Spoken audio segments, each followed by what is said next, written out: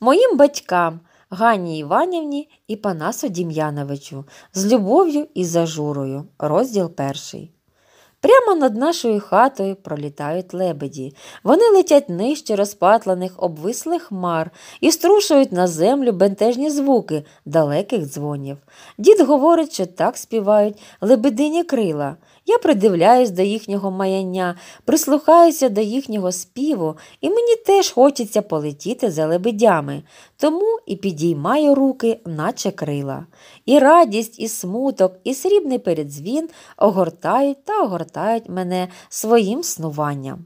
Я стаю ніби меншим, і навколо більше росте і міниться весь світ, і загачене білими хмарами небо, і одноногі скрипучі журавлі, що нікуди не полетять, і полатані веселим зеленим мохом стріхи, і блакитнава діброва під селом, і чорнотіла туманцем підволохачена земля, що пробилася з під снігу. І цей весь світ тріпоче міниться в моїх очах і віддаляє та віддаляє лебедів, але я не хочу, щоб вони одлітали від нас. От коли б якимсь дивом послухали мене, зробили круг над селом і знову прилетіли над нашою хатою. Аби я був чародієм, то хіба не повернув би їх, сказав би таке таємниче слово. Я замислююсь над ним, і навколо мене починає кружляти віддіння казки. Її нерозгадані дороги, дрімучі праліси і ті гуси лебедята, що на своїх крилах виносять з біди малого хлопця. Казка вкладає в мої уста оте слово, до якого дослуховується земля і вода, птиця в небі і саме небо. От і принесли нам лебеді на крилах життя, говорить до неба і землі мій дід Дем'ян.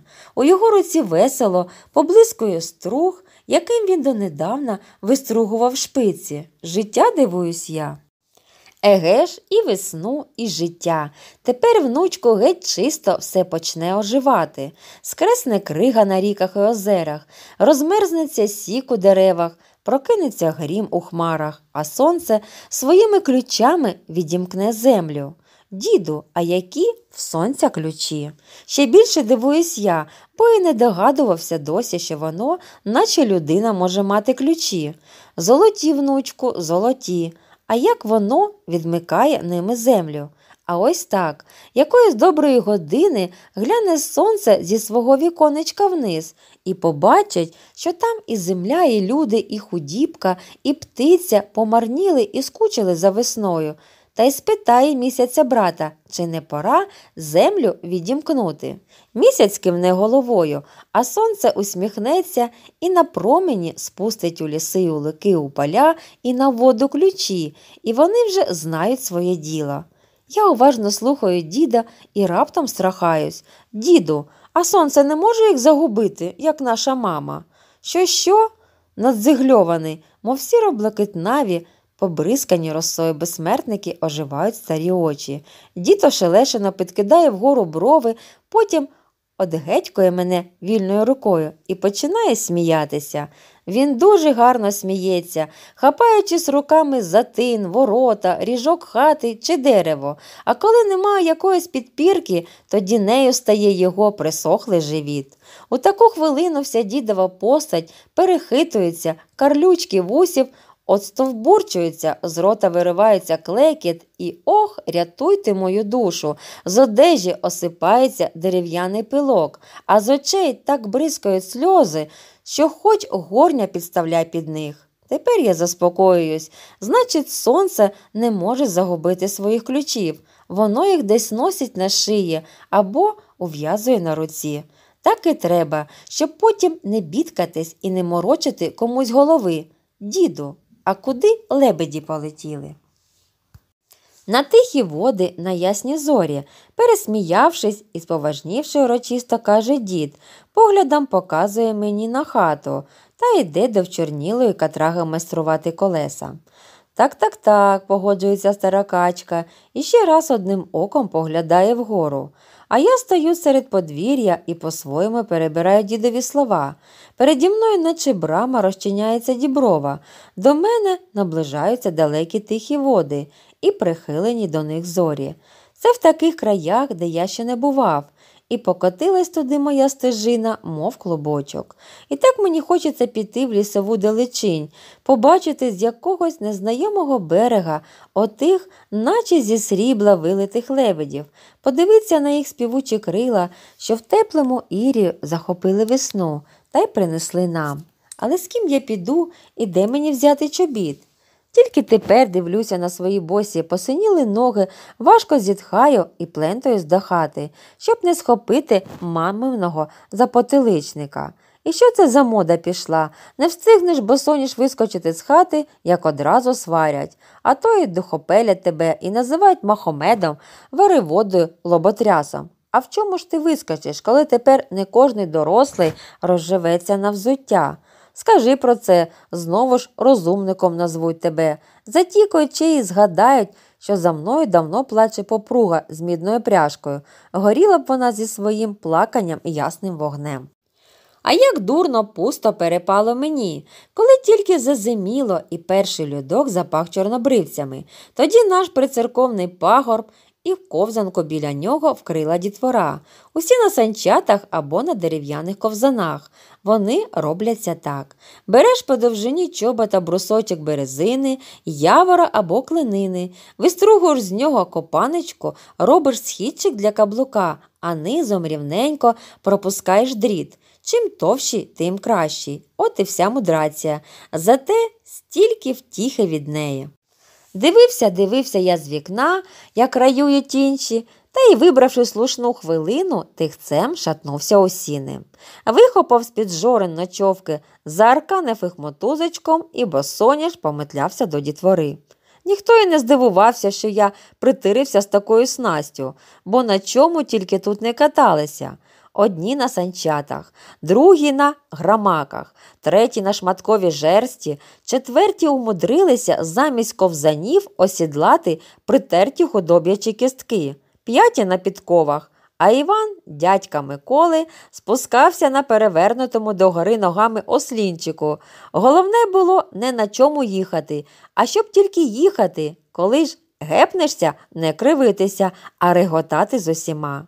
Яка то була втіха вибратись на самісіньку маківку пагорба, переможцем поглянути на засніжене село, що бавилось димами, всістись на свого самоката і гайда, гайда, гайда на весь дух донизу. Машинерія твоя летить, аж гуде, вітер у вухах пересвистує, збоки собаки гавкають.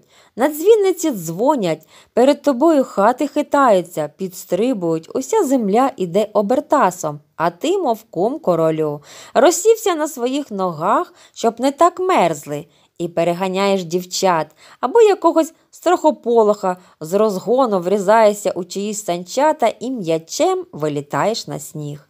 А ззаду ще і ще хтось наїжджає на тебе, і вже росте отаке накупа, в якій усе регоче, верешить, клубочиться, видирається наверх і жужмом котиться вниз. З цієї веселої теплої копиці раптом хтось почав мене за ковнір витягати на світ Божий. Він одразу потемнів у моїх очах, коли я опинився перед поблідною от страху і гніву матір'ю. Ось тепер усі почали дивитись на мене, ніби я з місця звалився. А хтось уже приніс матері ночовки, що встигли чомусь надколотись. Мати підхопила їх під руку та й і не дуже церемонячись, потягла мене з грища на розправу. Хотів я гайнути кудись навтіки, де перець не росте. Та материна рука наче приросла до моїх обох ковнірів. Гай гай, куди поділась моя радість, коли я поберед ночовок і матері поплентався додому. Ну, а яке потім було сум'яття, ви, напевно, догадуєтесь. Спершу з мене вибивали дурування і примовляли, який я бузувір, опришок, урвиголова, харцис, каламут і навіть химород. На таке противне слово я ніяк у душі не міг погодитись, але і перечити не став, знаючи, що за це можна відхопити зайвого духопелика. Далі мені, маминою хусткою, на два гудзи перев'язали зав'язали шию, запакували на піч, де парилось просо, і почали напоювати малиновим чаєм, який зовсім був був би добрий, аби коло нього хоч лежала грудочка цукру. На другий день уже було відомо, що чортяка мене не вхопить, бо я вночі ні разу не бихикнув. Тому дід зауважив, що я очейдух, і весь удався в нього, а мати сказала, що воглашенного. Після цього ми з дідом перезирнулись, усміхнулись, мати посварилась на мене бровами і кулаком, а бабуня вирішила повести свого безклепкого внука до церкви. Там я мав і покаятись, і набратися розуму, якого усе чомусь не вистачало мені. Та я не дуже цим і журився, бо не раз чув, що такого добра бракувало не тільки мені, але й дорослим. І в них теж чогось вискакували клепки, розсихались обручі, губились ключі від розуму, не варив баняк, у голові літали джмелі, замість мізків росла капуста, не родило в черепку, не було лою під чуприною. Розум якось втулявся аж у п'ятий і на в'язах стирчала макітра. Отже, ранком я вже мало не розкошував. Мати на часинку позичила у сусідів чоботи і, шмаруючи їх березовим дьогтям, заходилася повчати, щоб я у церкві не лобурясничав, не шморгав носом, не крутився дзигою, не ловив гав, не перся наперед, не сміявся не пирхав, не ліз на крилась та частіше хрестив лоба. Узнавши геть чисто все, чого не можна робити в церкві, я подався на вулицю, то опереджаючи бабусю, то залишаючись позад неї, а їй хотілося вести мене тільки за руку, і чого всі жінки забувають, що хлопець є хлопцем. Перед тим, як зайти в церкву, бабуся побожно перегнулася. Зробив і я так, але, видать, не догодив і схопив саме те слово, якого ще не доказали вчора. В Божому храмі страшенно пахло свіже виробленими кожухами і розігрітим воском. І в бабинці, і в притворах молилися люди, а між ними не зграбився розчепірений титер, якого боялася уся дітвора. Зараз він робив дві роботи збирав коновчаний збір і гасив свічі. Бабуся перед якимсь темнілим образом поставила саморобну свічечку і ревно почала молитися, доти поки не згадала, що мені доконче треба показати грізний і страшний суд Господа нашого Ісуса Христа, друге пришестя. Це пришестя було намальоване за бабинцем прямо на дерев'яній стіні. Через те, що з вогкого дерева капало, страшний суд видавався ще страшнішим. На ньому плакали і праведники, і грішники грішники. І чого тільки не було на тому суді. Тут на веселці, як на гойдалці, владно сидів Христос Цедержитель. Під ним чиясь дебела рука важила на шалькових терезах правду та кривду. Обабіч Вседержителя на білих хмарах стояли пророки, Богородиця і Іван Предтеча. Нижче ліворуч був рай, обнесений товстелезним кам'яним муром. Святий Петро вів до райської брами виснажених праведників, а в самому раю уже стояли три бородаті праотці і гурт веселих запорожців. Усі вони були в широких червоних штанях і при зброї. На їхніх головах пишалися довгі оселедці. А от праворуч починалося справжнє страхіття. Тут юрмилися чорні, наче вони всю зиму кіптюжились у комині, чорти і вогнем дихала мерзопакасна пащика змія. До неї, туманіючи від жаху, підходили грішники, п'яниця з барилком горілки, товстий, салганистий пан, що наїв м'яса на чужому горі мельник злодюга з привішеним на шиї журном, суддя хапуга з торбою нечестивих грошей, чернець, що заглядав не в святе письмо, а в гріховні суєти. Якась підмальована, гарна зодягнена, але гордовита пані. Під нею було написано пиха. За нею карлючились брехуни і доносчики з язиками, схожими на копистки, та інша дрібна потерть що не жила, а тільки хитрувала і гріховодила на землі. Хоча й страшнувато було дивитися на все це людинопадіння, але я таки придивлявся до нього. На моє щастя, тут нікого не було, з тих дурноп'ятих, які босоніж спускалися б у ночовках, і це мене трохи заспокоїло. Михайле, ти ще не в хаті, гринув з катраги дід. Гляди, перепаде нам обом за лебедів. І він для чогось поглянув угору, де сонце і блакитні розводи змагалися з хмарами.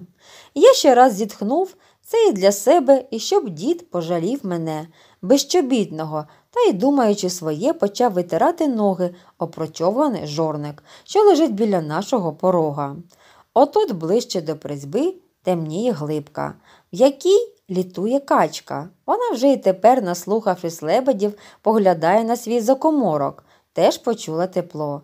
Хоча наша качка і однокрила, та своєю сміливістю і тямущістю дивує всіх вуличан.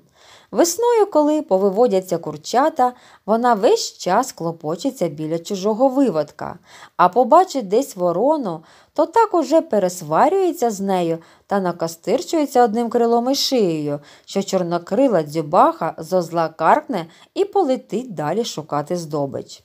Вміла качка якось і в людях розбиратись. Коли біля нашої хвіртки з'являлася добра людина, ми чули догідливе чи розважливе так, так, так. Ішла славна людина до хати, то і качка хильцем хильцем супроводила її, немов би статечна господиня. Та досить було з'явитися на вулиці лютобровому дерелюду Митрофаненку або хитрузі пустомолотою Хриму Бабенку, як птиця нагогошувалась, починала вибивати ногами сердиту плетеницю і засуджено репетувати ках-ках-ках. Зараза без крила завжди ще біля воріт настручувався на неї Митрофаненко, і на переніссі в нього вибивався жировий вузол. Теж має щось проти тебе. А Йохрим Бабенко облесно викруглював у посмішці коржасті щоки, розводив довгими руками і, поолививши голос, удавав дивування. І де і за якими океанами морями ви таку приінтересну птаху дістали, а ногами, як оруди, поставте її на ступу, той і проса втовче.